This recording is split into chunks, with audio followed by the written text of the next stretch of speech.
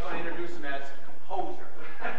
so this is composer Robert Brunelle. We're not talking about playing at all. He, he insisted upon playing his part.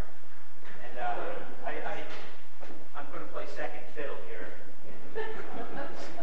Perhaps the hardest instrument to play gracefully. Second fiddle, right? me, the part sounds terrible.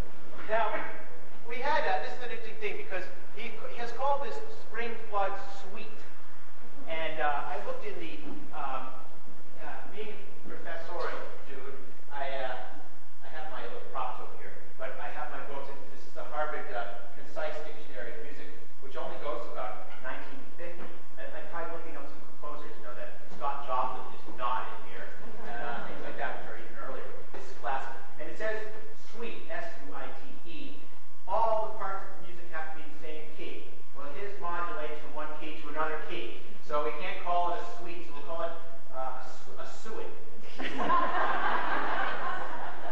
Spring flood suet, which is the mix of all the stuff that floats by you when you're, uh, when you're in the middle of the flood. It's called spring flood because